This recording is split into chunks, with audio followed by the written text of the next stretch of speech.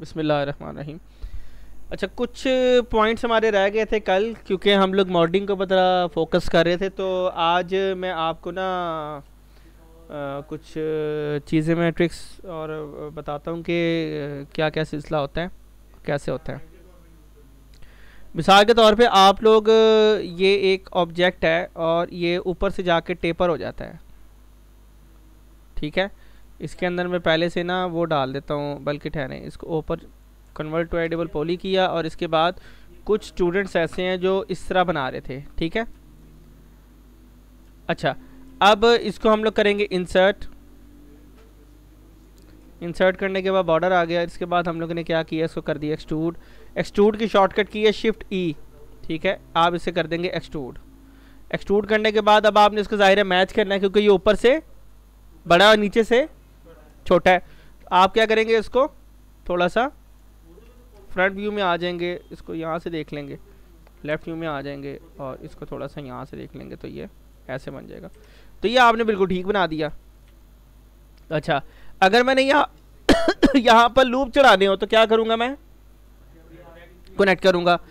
मैं एच पे क्लिक करूँगा, ठीक है? इसके बाद मैं रिंग चढ़ा दूँगा और इसके बाद मैं क्या कर दूँगा? कनेक्ट इसको कर दिया मैंने ओके अच्छा अब मैं ये चाहता हूँ, कनेक्ट मैंने कर दिया है। इसको मैं ख़त्म नहीं करना चाह रहा, बल्कि मैं जब इसको ऊपर लेके जाऊँ तो ये जैसे जैसे मेरा, यानी कि अगर आप इसको फ्रंट व्यू से देखो, जैसे जैसे मेरा ये एज ऊपर जा रहा है ना तो आपको नज़र आ रहा है कि ये एरिया इसके साथ लॉक हुआ हुआ है।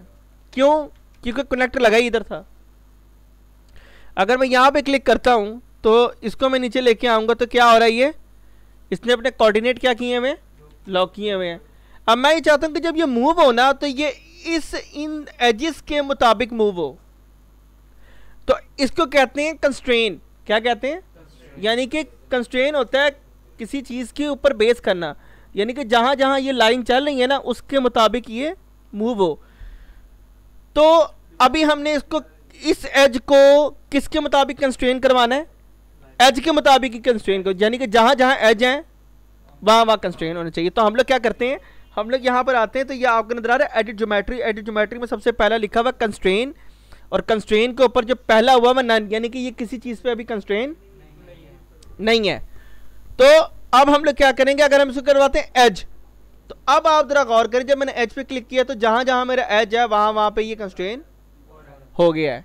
तो ये हुआ मेरे पास एज कंस्ट्रेन ठीक हो गया? अच्छा. अब अगर मैं नन पे आता हूँ और अब मैं यहाँ पर करता हूँ फेस को क्लिक। पॉलीगॉन भी है और फेस भी कहते हैं। क्या कहते हैं इसको? फेस भी कहते हैं और पॉलीगॉन। कल को अगर आप यूट्यूब के ट्यूटोरियल या किसी भी थर्ड पार्टी आप यूनिवर्सिटी या फिर किसी भी ऑनलाइन लेक्चर के अगर आप ट्यूटोरियल सुन रहे हो तो वो कहना फेस पे क्लिक करो तो आपके जहन में पहली चीज़ क्या क्लिक होनी चाहिए? इसने क्या कहा पॉलीगॉन पे क्लिक करो। अच्छा एक और नाम भी है इसका, नॉर्मल। क्या नाम है इसका? नॉर्मल तो ये तीन नाम है इसके। नॉर्मल भी कहते हैं फेस भी कहते हैं और पॉलीगॉन्स भी कहते हैं। तीन नाम है। नॉर्मल भी है फेस भी और पॉलीगॉन भी है। अगर कोई कहना कि, यार, इसके नॉर्मल्स बाहर की तरफ़ है, या नॉर्मल्स इसके फ्लिप करते हो तो इसका क्या मतलब होगा? वो फेस की बात कर रहा है। या वो पॉलीगॉन्स की बात कर रहा है। समझ में आ गई बात? अच्छा। वर्टेक्स वर्टेक्स ही होता है। पॉइंट्स पॉइंट्स ही होते हैं। एज एज ही रहेगा। बॉर्डर बॉडी ही रहेगा। और एलिमेंट तो सिर्फ़ मैक्स के अंदर है, बाकियों में एलिमेंट्स नहीं है। वो ओवरऑल ही कंसिडर करता है ब्लेंडर के अंदर एलिमेंट नहीं होता ना माया में अच्छा तो अब आपने फेस के ऊपर क्लिक किया अब आप ये कहते हैं कि यार मेरा जो ये फेस है जब मैं इसको आ, इसके अंदर दो तीन में और पॉलीगॉन ऐड कर देता हूँ।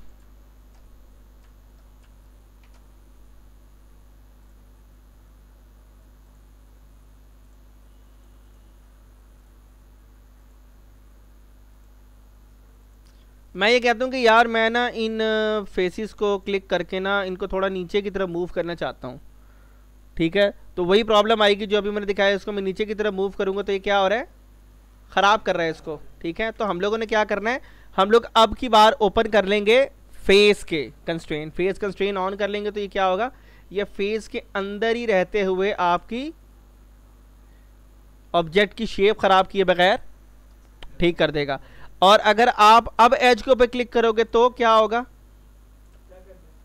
तो ये फेस के अंदर रहते हुए एज को सेट कर रही है, यानी कि एज कंस्ट्रेन और फेस तो ये है नॉर्मल नॉर्मल अब यहाँ पे क्या काम कर रहा है? इसको थोड़ा कॉम्प्लेक्स कर रहा है, यानी कि जहाँ पर आपका नॉर्मल है ना, यानी कि नॉर्मल क्या होता है?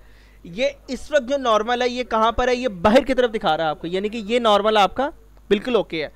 अगर आप इसको करते हैं फ्लिप फ्लिप मतलब यानी कि ये चादर आपकी सीधी पड़ी हुई है ना यहाँ का माउस पैड सीधा पड़ा हुआ है। इसका नॉर्मल जहाँ पर ये प्रिंट हुआ हुआ है, इसका नॉर्मल इस वक्त है, मेरी तरफ़ है। फेस कहाँ पर है? मेरी तरफ़ है। इसका जो पॉलीगॉन है वो किधर है? मेरी तरफ़ है। अब पॉलीगॉन ओवरऑल काउंट होगा। फेस वो काउंट होगा जो सामने नज़र आ रहा है। नॉर्मल वो एरिया होगा जो बिल्कुल नज़र आ रहा है। आपकी लाइट के सामने ये नॉर्मल है। अब इसका मैं कहता हूँ नॉर्मल फ्लिप कर दो उसको उठा के अब यूँ कर दो। तो ये नॉर्मल क्या हो गया? फ्लिप हो गया। अब ये जो पेंटेड एरिया था वो कहाँ चला गया? नीचे, और जो आपका वो एरिया जो नज़र नहीं आएगा, वो कहाँ पर आ गया? ऊपर आ गया। तो ये होता है नॉर्मल ठीक है? अच्छा अब आप अगर इसके नॉर्मल को ऊपर जाएँ और आप इसको फ्लिप कर दें तो ये क्या हुआ आपका नॉर्मल ये फ्लिप हो गया नॉर्मल आपका। अक्सर डाउनलोडेड मॉडल ऐसे होते हैं, जो आपके पास कुछ इस तरह से आते हैं। इनके नॉर्मल क्या हुए होते हैं? फ्लिप हुए हुए होते हैं। आप इन सारे को सिलेक्ट करेंगे और आप क्या करेंगे इसको? फ्लिप करेंगे, आपका नॉर्मल ठीक हो जाएगा। समझ में आई बात? ये होता सारा सीन अच्छा तो ये नॉर्मल होते हैं। अब आपको समझ में आ गया आ गया होगा कि यार ये जो नॉर्मल है ना, इसके मुताबिक ही कंस्ट्रेन हो तो ये उसके नॉर्मल के मुताबिक कंस्ट्रेन होगा। तो जैसे जैसे आप लोग इंशाल्लाह मॉडलिंग करेंगे, आपको इन टूल्स की ज़रूरत पड़ेगी तो ये चीज़ें आपने जहन में रखनी कि यार ये फैसिलिटी थ्री डी मैक्स देता है। अच्छा। ओके नेक्स्ट जो चीज़ है हमारे पास वो ये है कि मैंने फ़र्ज़ करें यहाँ पर एक हैंडल बना लिया है। ठीक है, मैं यहाँ पर ले लेता हूँ टॉरस टॉरस के बाद ये मेरे पास एक हैंडल की शेप है, इसको मैं यहाँ पर लगा लेता हूँ और मैं कहता हूँ कि यार ये जो मेरा ऑब्जेक्ट है, इसके साथ हो गया। तो ये क्या लग गया इसके साथ? हैंडल आ गया। अब मसला ये है कि पहले मैं इसको क्लिक करूँ, फिर इसको क्लिक करूँ। कंट्रोल प्रेस करके तो ये दोनों को साथ ही क्लिक कर सकता हूँ। तो मैंने इस मैंने अपने इस ऑब्जेक्ट के हैंडल को अपने ड्रमस्टर के साथ क्या करना है? अटैच करना है। क्या करना है? अटैच करना तो अटैच का मतलब ही यही है कि ये चीज़ इसके साथ अटैच हो जाएगी। अच्छा हम लोगों ने क्या किया? हम लोगों ने अपने ड्रमस्टर के मॉडल पे क्लिक किया और यहाँ पर आपको नज़र आ रहा होगा एडिट ज्योमेट्री के अंदर अटैच आपने अटैच पे क्लिक किया और जिसको अटैच करना है उस पर क्लिक किया तो ये ऑब्जेक्ट अटैच हो गया। मेक श्योर sure एक ऑब्जेक्ट हो या दस ऑब्जेक्ट हो, उनको अटैच करने के बाद अटैच के बटन को वापस क्लिक करना ताकि कोई और चीज़ अटैच ना होना शुरू हो जाए। तो ये ऑब्जेक्ट अब इसके साथ क्या हो गया? अटैच हो गया। अब आपने अगर इस ऑब्जेक्ट को अब हिलाना होगा ना तो अब आप एलिमेंट मूड में आएँगे और एलिमेंट मूड में आने के बाद अब आप इसकी एडिटिंग कर सकते हैं। लेकिन अगर कोई कहे कि यार ये हैंडल ठीक नहीं है I am not happy for this तो अब आप क्या करोगे? आपने इसको करना है डी अटैच क्या करना है? डी अटैच डी अटैच करने के लिए अटैच के सामने ही है।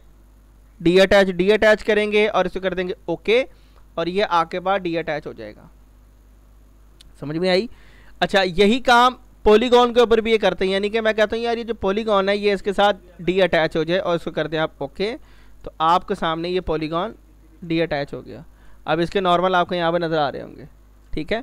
अगर मैं ये चाहता हूँ कि ये मेरे पास एक ऑब्जेक्ट है, ये डी अटैच करना है, और मैं कहता हूँ कि ये डी अटैच तो हो जाए, लेकिन इसका क्लोन भी यही रहे तो उसका पहला तरीका ये कि आप डी अटैच पे क्लिक करेंगे और यहाँ पे लिखा हुआ है detach as a clone इस पर आप ओके कर देंगे तो आप क्या करेंगे, आपका जो ऑब्जेक्ट है वो डी अटैच भी हो जाएगा और उसका क्लोन भी यहाँ पर रहेगा।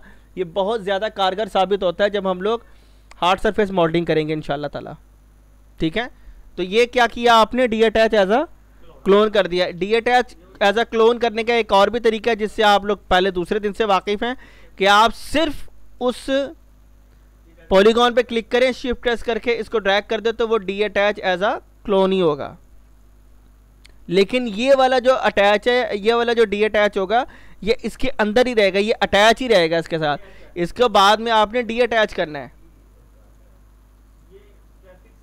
तो ये था हमारे पास constrain attach detach as constrain और नॉर्मल ठीक हो गया? अच्छा जी। स्लाइस क्या होता है? स्लाइस का मतलब होता है किसी चीज़ को काट देना। अभी मैं सिर्फ़ कमांड्स पढ़ा रहा हूँ, आगे हम पढ़ेंगे कि ये कहाँ कहाँ इस्तेमाल हो सकता है, ठीक है? तो मैं इसके ऊपर, यहाँ पर क्या करूँगा? मैं कहता हूँ, यार, ये चीज़ यहाँ से कट जाए। मिसाल के तौर पर ये जो चीज़ है, यहाँ पर ये मैं आइसोलेशन मूड में आया हूँ। किस मूड में आया हूँ? आइसोलेशन मूड होता है, आपके पास बहुत बड़ी ड्राइंग है, आप कहते हो कि यार मैं इस पर क्लिक करूँगा तो मुझे यहाँ का हिस्सा नज़र नहीं आ रहा तो मैं चाहता हूँ मैं इसको आइसोलेट कर दूँ तो आप ऑल्ट प्लस क्यू प्रेस कर देंगे। ठीक है? अच्छा आप आइसोलेशन मोड में आ जाएँगे। मैं ये कहता हूँ कि ये मेरे पास ऑब्जेक्ट है, इसको मैंने करना स्लाइस आपने क्या कि सारे ऑब्जेक्ट पे क्लिक किया? क्लिक करने के बाद यहाँ पर आपके पास आएगा स्लाइस होगा यहाँ पर क्विक स्लाइस है और एक है स्लाइस प्लेन ठीक है? तो आप क्या करेंगे? क्विक स्लाइस कर दें। यहाँ पर क्विक स्लाइस पे मैंने क्लिक किया और मैंने यहाँ पर इसको ऐसे पकड़ के काट दिया। ये देख रहे हैं? आप यहाँ पर दो पोलीगॉन एक्स्ट्रा आ गए हैं। इसी तरीके से यहाँ पर भी आप क्लिक करेंगे या आप इधर आ जाएँ। इधर आ जाएँ आप। और यहाँ मैंने क्लिक किया। इसके बाद मैंने इनको पे क्लिक किया और यहाँ मेरे पास आ गया क्विक स्लाइस इन दोनों को मैंने यहाँ पे क्लिक किया और ये मेरे पास स्लाइस हो गया। ठीक है, ये और ये स्लाइस हो गया अब इस स्लाइस को अलग करना तो आप क्या करोगे? डी अटैच ओके कर देंगे और ये आके बाद जो स्लाइस है वो अलग है। ओके हो गया? अच्छा जी। तो ये हमारे पास वो हेल्पफुल कमांड्स हैं जो कि हमें आगे यूज़ होती हैं। अच्छा।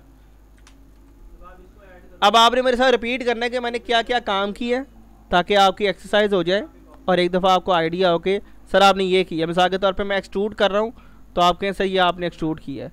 अगर मैंने इंसर्ट किया तो आपने कहना सर, अब आपने इंसर्ट किया है। अगर मैंने कनेक्ट किया तो आप कहेंगे तो ये मैंने कनेक्ट किया चलें स्टार्ट करते हैं।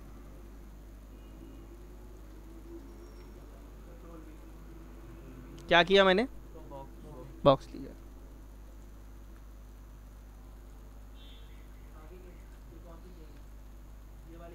ये मैंने क्या किया? आई डेवलप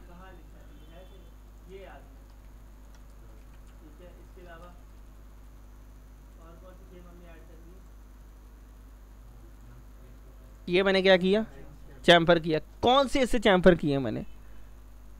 सिर्फ़ नीचे के दो एजेस किसके? सिर्फ़ नीचे के दो एजेस अच्छा।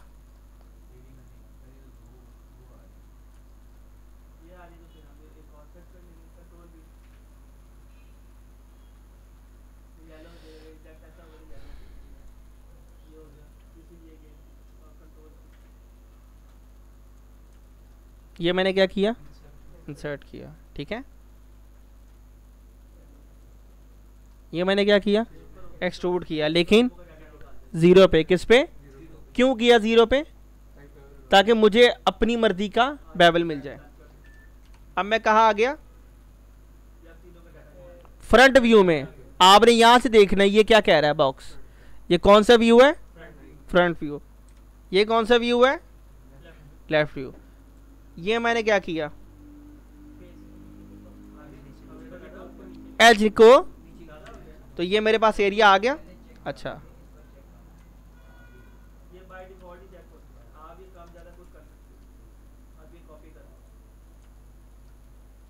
अगेन मैंने क्या किया? चैम्पर किया। अच्छा। ये क्या हुआ? रिंग हुआ।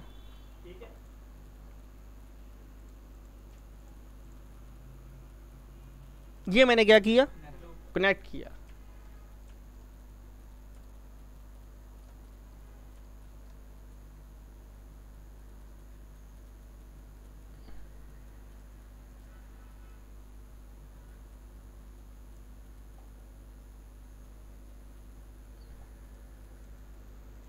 ये क्या हुआ? चैम्पर कोई नई चीज़ बताएँ जो मैंने की हो अभी तक। पुरानी कमांड्स यूज़ हो रही हैं। अच्छा जी।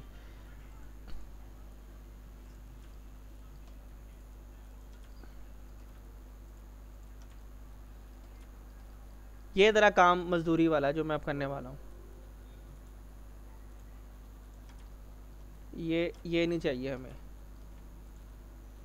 ये जी से मैं ग्रिड गायब कर रहा हूँ।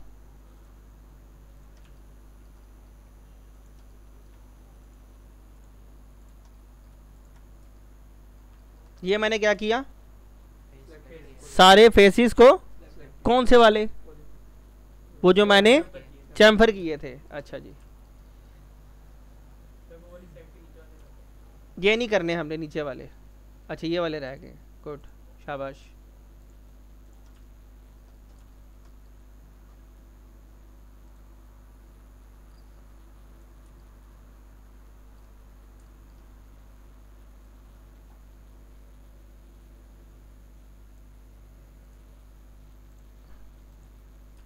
ठीक हो गया?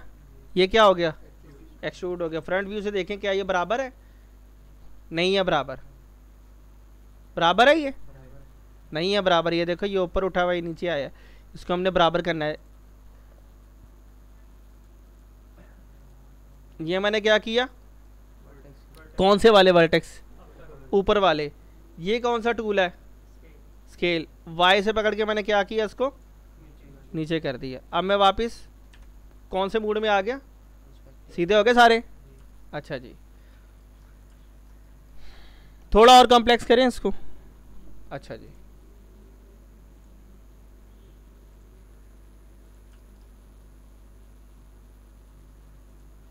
ये क्या हुआ है? रिंग हुआ है ठीक है। लेकिन ये रिंग सारा नहीं सिलेक्ट हुआ क्योंकि इसकी टपोलॉजी अब ज़रा थोड़ी ख़राब हो गई है। अब हमने क्या किया? अब हम कहाँ पर हैं? टॉप व्यू में शाबाश। कहाँ पर हैं? ये मैंने सामने वाले खुद मैनुअल रिंग सिलेक्ट किए हैं। अब मैं कहाँ आ गया?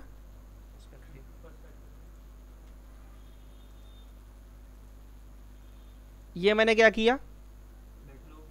कनेक्ट कर दिया।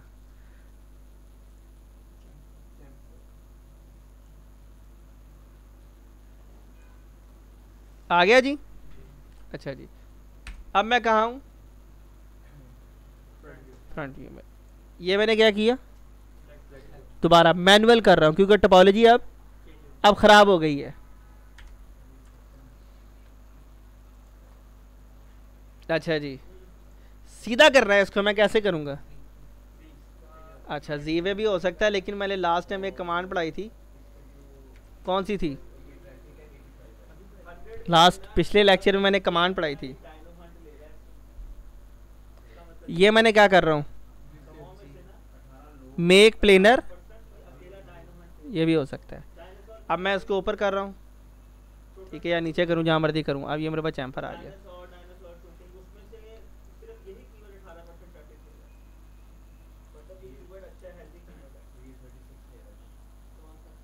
आ गया इधर?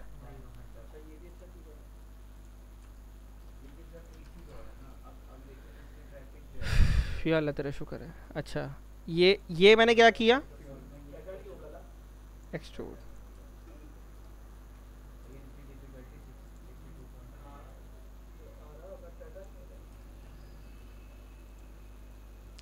बल्कि पहले हम लोग ना एक काम कर लेते हैं, ताकि इशू ना हो। ये भी हॉलो होता है और ये भी हॉलो होता है तो हम लोगों ने क्या करना है इसको? इंसर्ट किया और अब की बार जो इसका आया? कि मैं कहाँ आ गया? अच्छा अब हम लोगों ने क्या किया, इसको दोबारा एक्सट्रूड कर दिया और कहाँ किया हमने? अब मैं किधर हूँ? इसको उठा के ऊपर ले जाएँ आप। दोनों ही आ जाएँ, क्योंकि सिलेक्शन हुई हुई है इधर। अच्छा अब मैं दोबारा कहाँ पर हूँ? फ्रंट में। फ्रंट में आ जाएँ या बैक में आ जाएँ आप?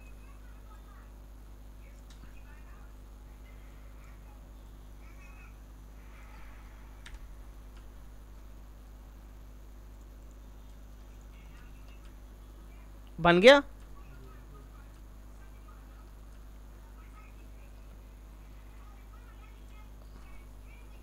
ये लें जनाब। ये आर्मी के पास होता है ड्रमस्टर होता है, इसके अंदर वो लोग अपना वो सारा डालते हैं। अच्छा कोई ऐसी कमांड जो मैंने नई इसके अंदर पढ़ाई हो आपको? मैंने आपसे कल कहा था, मैंने कहा आगे हम जो एडवांस मॉडलिंग करने जा रहे हैं ना, वो सारी इन्हीं कमांड्स के अंदर है। हार्ड सरफेस मॉडलिंग खास तौर पे। इससे बाहर इंशाल्लाह नहीं जाएँगे हम लोग। आगे सिर्फ़ टिप्स एंड टेक्निक्स हैं। शेल क्या होता है? अनरैपिंग क्या होती है? ट्विस्ट क्या होता है एफ़ एफ़ डी क्या होता है फ्री फ्रॉम डेफोमेशन टूल्स या क्या होते हैं, इससे हमारी मॉडलिंग और आसान हो जाती है। आपकी सोच है, जितना मैक्स आसान है, इतना कोई सॉफ्टवेयर आसान नहीं है।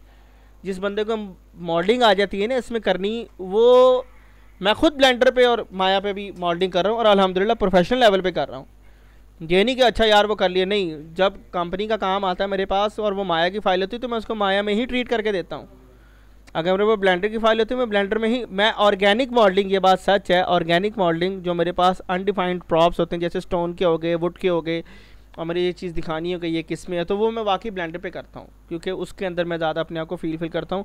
ख़ास तौर पर उसका जो स्किन मॉडिफायर है और जो क्या कहते हैं उसका सब डिवीज़न सरफेस है उसके साथ मिलकर मैं पूरा करेक्टर और पूरी ऑर्गेनिक मॉडलिंग करता हूँ। तो मैं जो दो आपके पास बार बार लफ्ज़ बोल रहा हूँ, ऑर्गेनिक मॉडल और एक हार्ड सरफेस मॉडल तो मैं आपको वैसे बताता हूँ। तो जो आपके पास, जो है, दो तरह की मॉडलिंग होती है आपके पास, एक होती है आपके पास।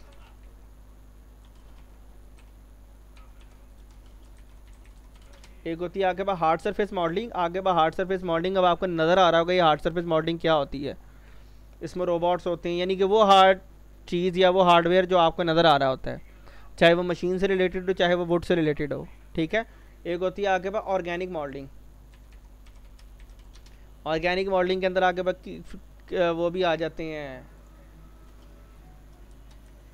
अच्छा ये मर्ज़ी की चीज़ें दिखाता है, वैसे मैंने साफ़ लगाया मैं दिल भी ना चाह रहा, लेकिन फिर भी ये इन्जॉयमेंट दे ही जाता है। चलो खैर, और मैं ऑर्गेनिक मॉडलिंग के अंदर क्या होता है? ऑर्गेनिक मॉडलिंग के अंदर आके बाद क्रीचर्स आ जाती हैं ह्यूमंस आ जाते हैं, हर चीज़ आ जाती है, ये आके बाद ऑर्गेनिक मॉडल मॉडल आपके पास आ जाते हैं, ठीक है? जैसे कि ये है, ये आपकी ऑर्गेनिक स्कल्पटिंग हो रही है, ठीक है? ये आके बाद ऑर्गेनिक मॉडल है, ये आके बाद ऑर्गेनिक मॉडल है, ठीक है? ये आके पास सारे ऑर्गेनिक मॉडल्स होते हैं, ये आके बाद ऑर्गेनिक मॉडल यानी कि आपके करेक्टर मॉडलिंग, ऑर्गेनिक मॉडलिंग कहलाती है, और जो आपके पास आपकी हार्ड सरफेस मॉडलिंग जो होती है, वो होती है जिसके अंदर आपके पास हार्डवेयर का सारा डेटा होता है, ठीक है? तो वो आपके पास हार्ड सरफेस मॉडलिंग है तो ये सारा सीन है।